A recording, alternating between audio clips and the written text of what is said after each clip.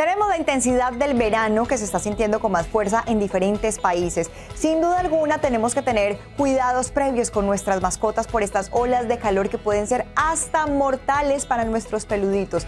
¿Qué hacer y qué definitivamente no hacer? Eso es lo que nos viene a contar el día de hoy Patio Valderruten con nuestra sección Amor de Perros. ¿Qué tal todos? Esto es Amor de Perros y con Pistacho que está un poco acalorado y no es para menos porque estas son las noticias de la ola de calor que se vive no solamente aquí en el sur de la Florida sino también en el planeta entero.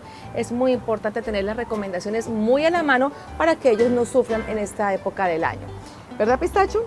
Para comenzar te voy a contar lo importante que es que evites al máximo hacer ejercicio o sacar a tu perro justo en las horas más calurosas. No solamente le puede hacer daño sus paticas en esta parte de acá, así tú sientas que están muy protegidos, pero porque el asfalto se pone más caliente de lo que tú puedas pensar, sino también porque para ellos puede resultar un tema de asfixia, un tema de ansiedad, un tema que les puede costar incluso la vida. Asimismo, procura jamás dejarlos en el carro encerrados, así sean 10 minuticos que te bajes a hacer una diligencia y no más.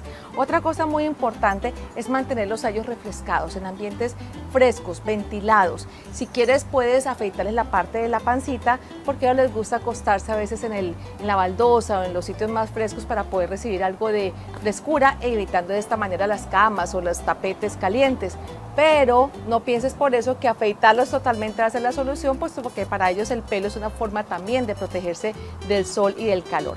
Has notado también que de pronto cuando hace más calor es cuando menos quieren comer y hace sentido porque para ellos las calorías que ingieren les ayuda a mantener la temperatura y justamente eso es lo que no quieren en ese momento, sino más bien liberarse de ella y refrescarse.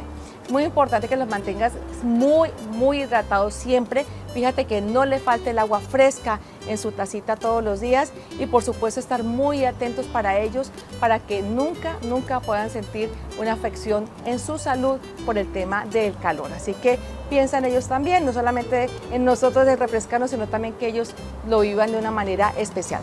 Esto fue Amor de Perros, nos vemos la próxima semana aquí en Trendiano.